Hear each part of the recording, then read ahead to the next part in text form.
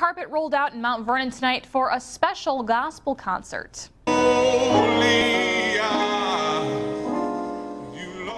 This is the first Gift of Gospel music showcase at the Granada. Roughly 200 people showed up for the kickoff event. Organizers say they coordinated it in hopes of bringing the community closer together.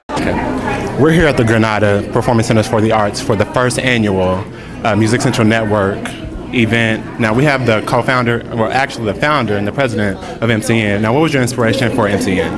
I saw it was a great need for entertainment and I love, I've been in music all my life. I love live music and uh, it was really nothing going on in the town. So, so I understand there's going to be different types of art displayed at this uh, event. So what types of art have you brought in? Um, I got some old school for the 1960s, 70s. Um, I got a couple rappers, and I also have uh, some new school contemporary artists, Southern gospel, and um, a ventriloquist. So it'd be a full show, entertainment for everybody. Do you have any great expectations or anything like that going on? Uh, I think the proof is in the pudding. You just have to wait to see the show. All right, the proof is in the pudding. Well, you heard it from the president here.